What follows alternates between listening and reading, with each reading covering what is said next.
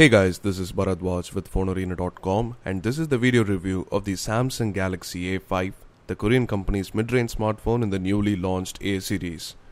For this, Samsung has come out of its usual design language to introduce the Galaxy A series with an all-metal exterior, which gives it a premium look.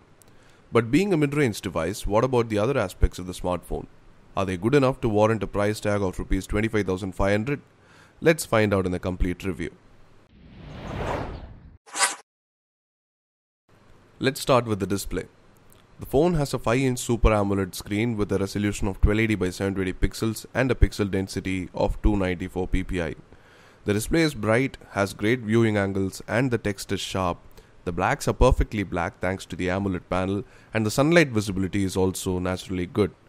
Overall this is definitely one of the best HD displays on a 5-inch smartphone. It even has the Corning Gorilla Glass 4 protection similar to the Galaxy Alpha. Above the display, there is a 5 megapixel front facing camera along with the usual set of proximity and ambient light sensors, but it lacks a LED notification light. It has Samsung's signature home button below that has a metal rim around it and the usual set of capacitive touch buttons on either sides. These are backlit and offer haptic feedback when pressed. It has chamfered edges and an aluminium frame for a premium look and a solid feel, it is 6.7mm thick, same as the Galaxy Alpha, and the brushed aluminum finish on the sides doesn't make it slippery. There is a primary nano SIM slot, a hybrid SIM slash micro SD card slot, and a power button on the right side. The primary SIM slot takes a nano SIM, and the secondary nano SIM slot can also be used as an expansion slot if you don't have to use the secondary SIM. The volume rocker is present on the left side, and even the hardware buttons, as you may have noted, have a metal finish. The micro USB port, the 3.5mm audio jack and the primary microphone are present at the bottom. The brushed metal back gives a great feel while holding in your hand and doesn't slip out easily. Overall the build quality of the smartphone is brilliant. There is a 13 megapixel camera on the back along with a single LED flash next to it and a loudspeaker grill on the other side. Coming to the camera, the Galaxy A5 has a 13 megapixel sensor and a lens with f2.0 aperture.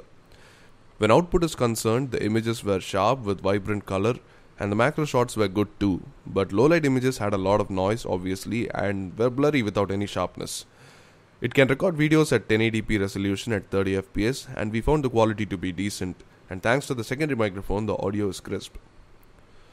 Coming to the software part, the phone runs on Android 4.4.4 with Samsung's own TouchWiz UI on top. The overall UI features are very similar to what you find on Samsung's flagship devices.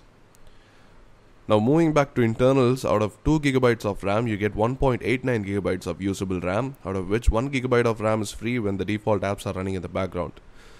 Out of the 16GB, you get 11.67GB of usable memory and you can move compatible apps to the SD card.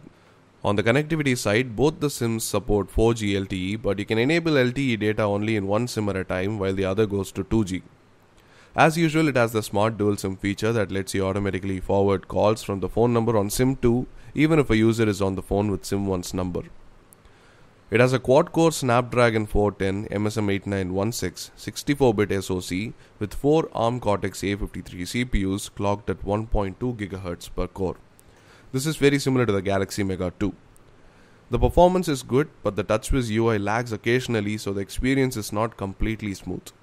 In terms of gaming performance, some games were not completely smooth and had occasional frame drops, but graphics were overall good. The 2300 mAh battery lasts for a whole day with average use. Apart from the usual power saving and ultra power saving modes in software, the one trick this Samsung phone cannot do is replace the battery, and that's a compromise due to design. Internally, in our battery test, Samsung Galaxy A5 got a rating of 7 hours and 32 minutes. Overall, the Galaxy A5 is one of the best mid range smartphones, mainly for its solid build quality and the stunning Super AMOLED display. Design and build quality are finally great on Samsung devices, but of course, it comes with a compromise.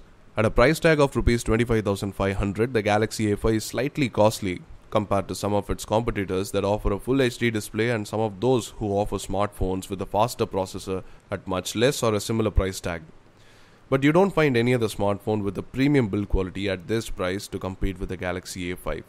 To make your decision easier, here is a list of pros and cons of this device.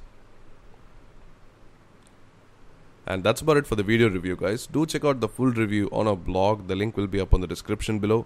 Hit the like button if you like this and subscribe to our channel if you haven't already for more videos like these. And thanks for watching.